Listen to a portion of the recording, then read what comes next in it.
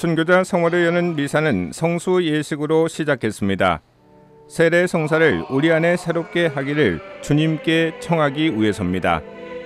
염수정 추기영은 강론에서 순교자 성화를 오직 한국 교회에서만 지내는 건 순교자들의 삶과 신앙이 한국 천주 교회의 뿌리이기 때문이라고 말했습니다.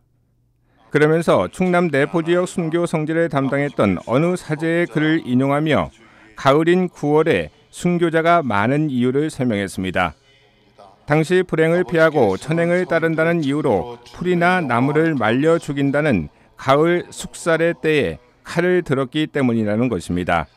세상은 불운을 피하려고 9월에 칼을 들었지만 순교자는 우리에게 축복의 가을을 선사하고 있습니다.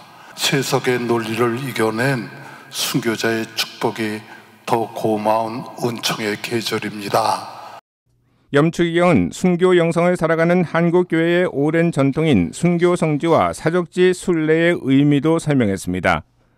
믿음 안에 기꺼이 자신들을 헌신하신 성인들의 삶을 통해 우선 우리가 참다운 하느님을 배우고 우리의 삶도 진실한 변화를 갖게 되면 그러한 변화를 통해 하느님의 영광이 세상에 드러날 것입니다.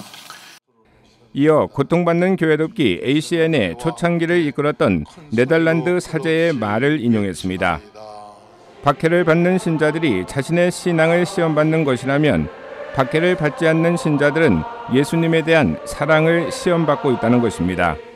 신앙 때문에 머리가 잘리는 피해 순교가 우리 일상의 삶의 자리에서 복음 정신대로 살기 위해 손해를 감수하며 사랑을 실천하기 위해 땀의 순교가 되기를 간절히 기도하며 희망합니다. 서울대교구 순교자 현양위원회 부위원장 원종현 신부는 교황청 승인 아시아 최초 국제 순례지인 천주교 서울 순례길을 안내하며 기도하는 순례자가 되기를 당부했습니다.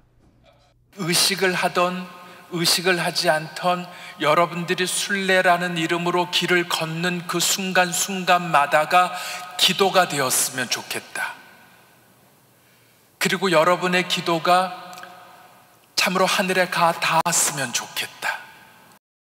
순교자 성화를 닫는 미사는 오는 29일 오후 3시 서소문 밖 내거리 순교 성지에서 봉헌됩니다.